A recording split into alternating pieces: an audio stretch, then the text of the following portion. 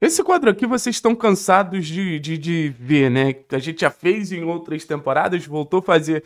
Esse ano tem jogo que a gente faz, tem jogo que a gente não faz, mas no final das contas, vocês sabem, a gente separa 10 histórias da partida, 10 fatos, 10 pontos e tenta trazer aqui pra gente trocar uma ideia sobre esse jogo de Atlético versus Esportivo Ameliano, último jogo da primeira fase da Copa Sul-Americana, jogo pro Atlético é, sacramentar a classificação muito tranquila nessa primeira fase e sacramentar também com uma melhor campanha de toda a Copa Sul-Americana nesse primeiro momento. Depois é mata-mata, depois a história é outra. E eu já quero trazer o ponto de número um, agradecer a KTO, patrocinador oficial do canal, sempre importante lembrar. Número um, pouco desafiado até agora, porque é uma realidade. O Atlético foi muito pouco desafiado pelos adversários que enfrentou o Atlético tem último jogo de vida fácil na Copa Sul-Americana. E é exatamente sobre essa virada de chave que eu quero falar. De um Atlético que a partir de agora vai ter um compromisso muito mais difícil, vai ter agora um compromisso muito mais chato, levando em consideração que o mata-mata tem os times da Libertadores, tem os principais times dos outros grupos, então o Atlético vai ter uma mudança considerável em relação ao nível competitivo da Copa Sul-Americana. Terminar bem esse primeiro momento, que foi um momento onde o Atlético acabou dando muita sorte, e já se preparar mentalmente e competitivamente para uma sequência completamente diferente e de um nível muito maior na Copa Sul-Americana. Número 2 o trabalho de Cuca pode sofrer sérios questionamentos se não der respostas. 15 dias, 4 dias de descanso, mais 9 dias de atividade, vamos, vamos levar assim. Os outros dois dias, sei lá, me perdi aqui nas contas. É, o técnico Cuca precisa fazer esse time melhorar, assim. Se a gente vê o Atlético voltando e jogando mal, eu acho que vai ser o primeiro momento que o trabalho do técnico Cuca pode ser realmente questionado. Acho que ali o, o, o, tom de crítica vai subir, acho que ali o tom de crítica vai ser realmente maior. Então, assim, esses 15 dias de paralisação, esses sei lá quantos treinos, precisam ter surtido algum efeito no seguinte aspecto: o Atlético ainda precisa crescer na temporada. O Atlético entrega resultados ótimos, mas o Atlético ainda precisa crescer na temporada. Acho que ninguém tem dúvida quanto a isso. Número 3, Bento é a possível grande saída menos sofrida dos últimos tempos. Óbvio que o Bento vai fazer falta. Óbvio, óbvio, óbvio. Ninguém tem dúvida disso. O nível que o Bento chegou tão cedo na carreira, eu acho que é surpreendente para absolutamente todo mundo. Só que existe um grande ponto. Saída do Bruno Guimarães, saída do Marco Rubens, saída do Rony, saída do Nicão, saída do Vitor Roque, saída de Terães, saída de Vitor Bueno, de tantos outros. Eu acho que deixou uma lacuna muito clara eu acho que deixou um espaço muito claro no elenco. A saída do Bento não deixa esse espaço, porque a gente já tem um substituto ali, que é o Léo Link. Então a saída do Bento vai ser forte abraço, boa sorte, seja feliz. Léo assume o gol, vida que segue. Beleza? Lembrando que pode ser o último jogo do Bento na Arena da Baixada.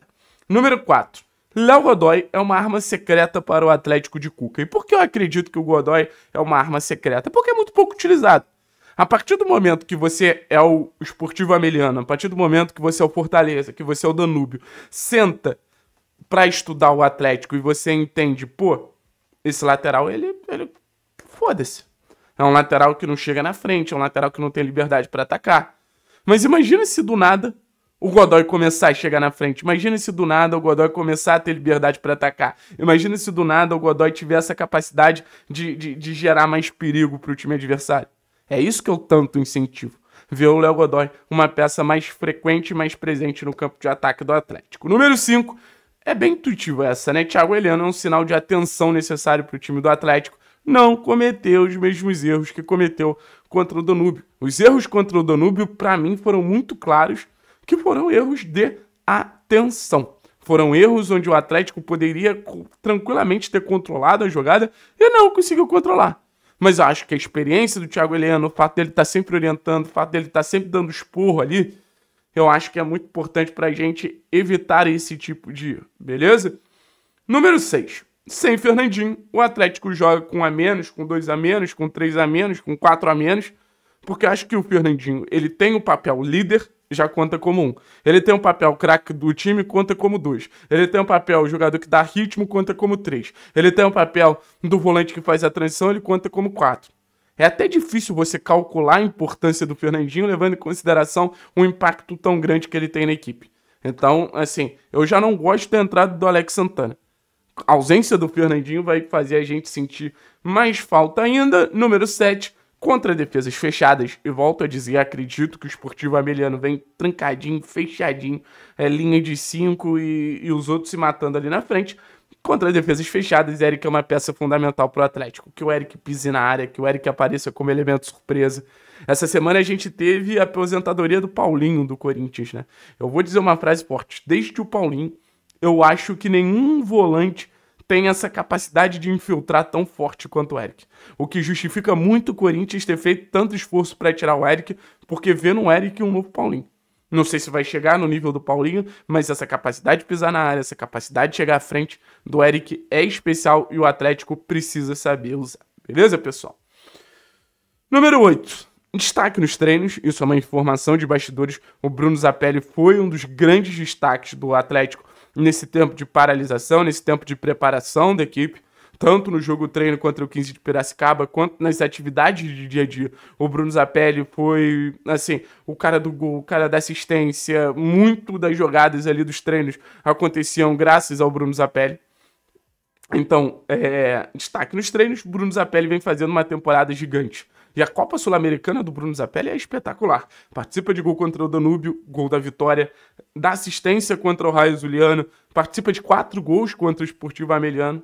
Então, assim, é um Bruno Zapelli que, para mim, é o melhor jogador do Atlético na Copa Sul-Americana.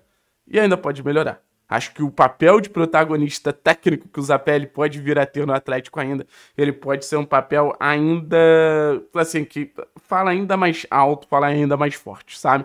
Porque tem muita qualidade, cara. Não tem muito que justificar. O porquê a gente sempre cobra um pouco mais do Zapelli. Não sei nem se é cobrar, mas a gente sempre fica alerta que o Zapelli pode continuar entregando a mais, faz uma temporada de uma participação em gol a cada dois jogos, decisivo em momentos importantes, semifinal de Paranaense, jogos pontuais na sequência, né? Como esse jogo contra o Danúbio, que a assistência dele garante a vitória, como o jogo contra o Inter, que participa do gol e, e, e garante a vitória, contra o Ipiranga, mantém a gente ali com uma vantagem minimamente é, confortável, então assim, ou desvantagem minimamente confortável, se isso existe, então Zapelli já é uma referência e pode ser ainda mais um jogo que a gente vai pegar uma defesa fechadinha, acho que o Zapelli pode ser fundamental nesse aspecto, para encontrar um passe diferente, para encontrar uma jogada diferente. Número 9 é a última chance de Thomas Coelho reverter as boas possibilidades que ele tem de fazer gol.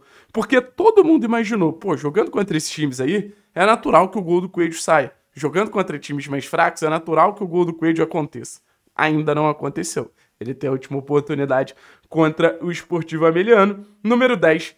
Pablo ganhou um respiro na disputa contra Mastriani pela camisa 9 por causa do último jogo contra o Danúbio. Acho que o Mastriani ali fez um jogo bem abaixo, acho que o Mastriani fez um jogo bem ruim mesmo. E isso dá uma tranquilidade para o Pablo. O Mastriani vinha sendo nosso senhor Copa Sul-Americana Pablo começa como titular nesse jogo, ao que tudo indica, e a tendência é que assim, o Mastrani tem ainda mais dificuldade de tirar o Pablo dessa posição de titular absoluto do Furacão. Beleza, pessoal? 10 pontos, 10 histórias. Deixa o like, se inscreve no canal. Lembra que a partir de 4 horas a gente vai estar ao vivo para você é, poder trocar uma ideia com a gente sobre esse Atlético Esportivo Ameliano.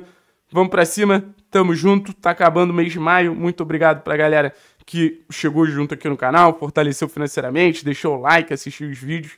E é isso. Daqui a pouquinho a gente tá online erroteando. Online erroteando.